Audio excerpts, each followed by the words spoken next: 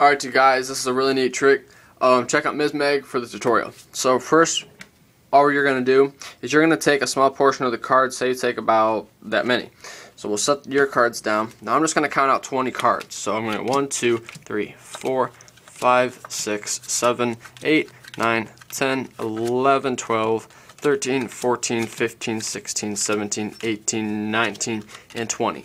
We can get rest, the rid of the rest of these cards. Now, we're going to count how many cards you have. You have 1, 2, 3, 4, 5, 6, 7, 8, 9, 10, 11, 12, 13, 14, 15. So you have 15 cards.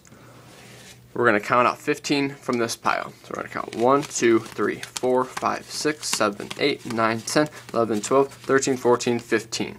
So now the 15th card that you chose out was the 9 of clubs.